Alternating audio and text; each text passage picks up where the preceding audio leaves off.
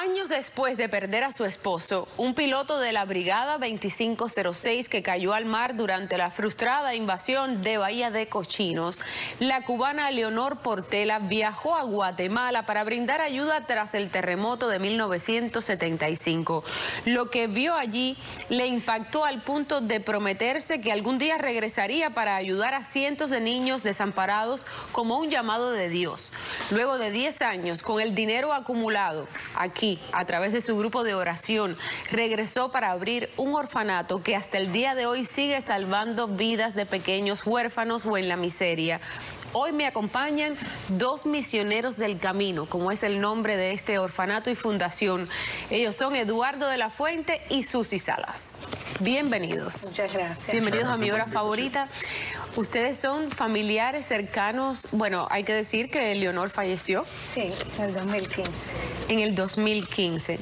Y dejó este hermoso legado, de vida que ustedes asumieron y continuaron. Exactamente.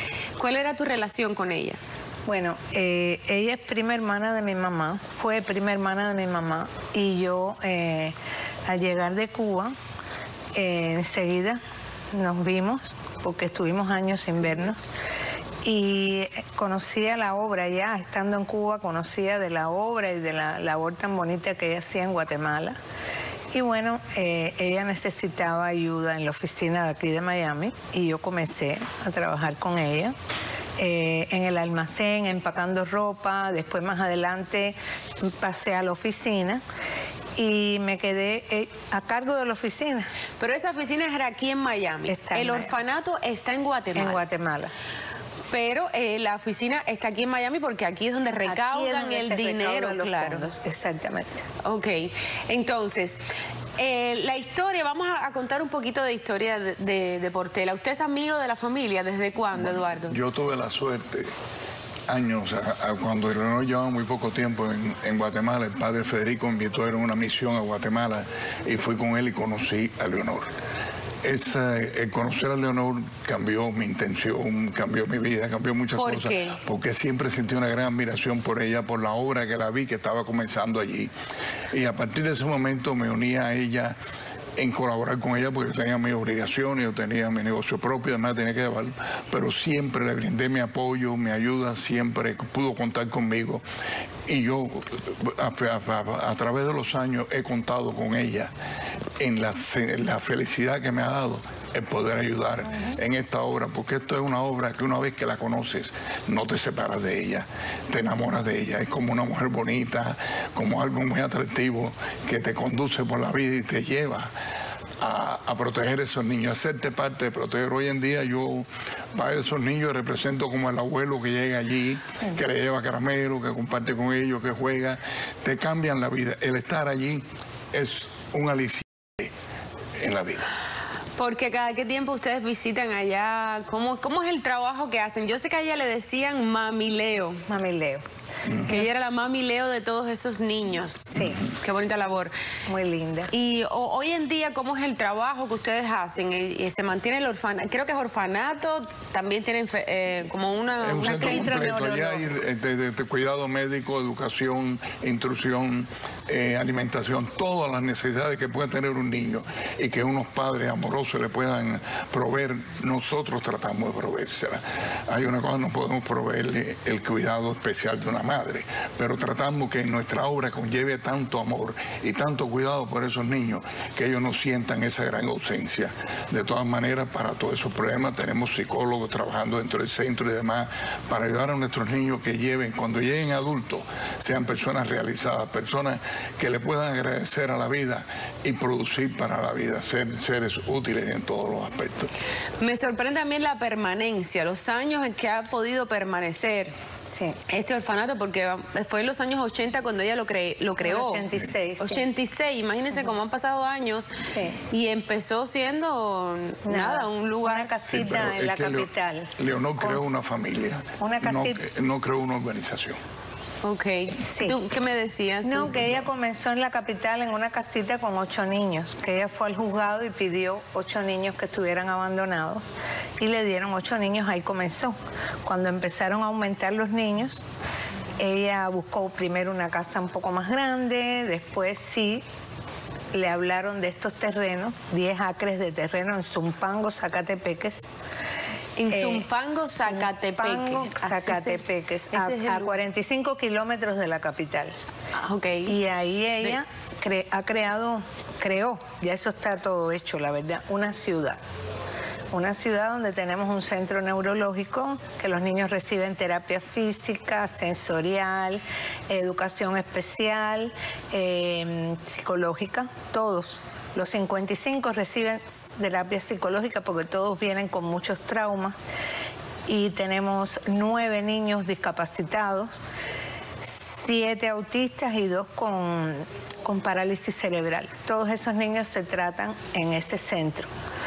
Usted que, la, que estuvo tan cerca de ella por, por tantos años, Eduardo, ¿por qué ella quiso hacer esto? ¿Por qué sintió esa necesidad? Y como decía ella, este llamado de Dios, porque... Porque ella era una persona muy humana. Exacto. Y se, se compadeció del, del problema que vio allí y quiso poner su granito de arena y llevar a cabo con esos niños a la obra que de por sí lo hubiese capturado la prostitución, la droga, Dios sabe a dónde hubiesen ido para esos niños. Y gracias a la intervención de ella, a la buena intención de ella y al ese atractivo personal que tenía para las personas que se podían acercar a ella, porque como estaba diciendo ahorita, ella no creó una organización, ella creó una gran familia. En este momento nosotros todos los meses enviamos correspondencia a 5.500 personas, de las cuales recibimos la ayuda económica. Para recaudar fondos. Sí, que mantiene el, el, hogar trabajando en una forma, si cualquiera que vaya al hogar puede comprobar que esto es un, centro excelente de cuidado en todos los aspectos.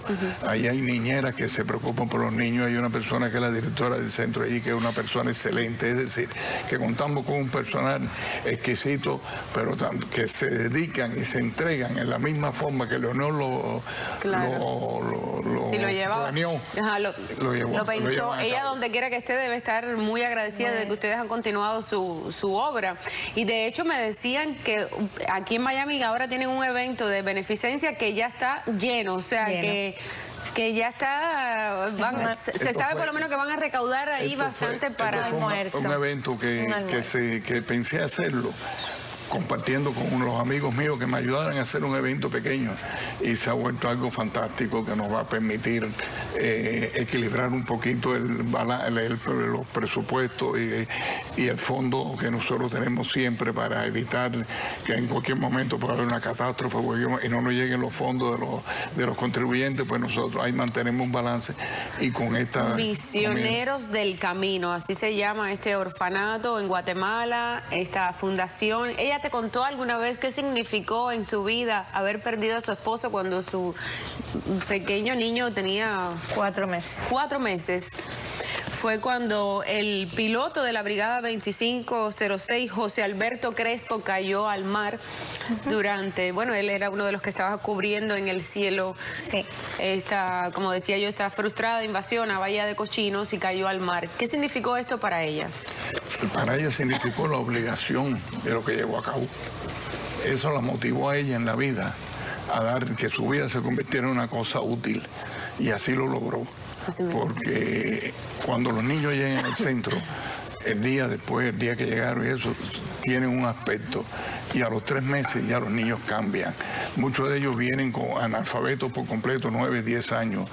Y al año, año y medio ya están leyendo de corrido y vaya, se les, se les forma, se les cuida de que no de que no carezcan de nada en la vida. Y sobre todo se les provee amor. Muy bien, una tragedia que cambió su vida para bien. Ella la, tornó en algo positivo.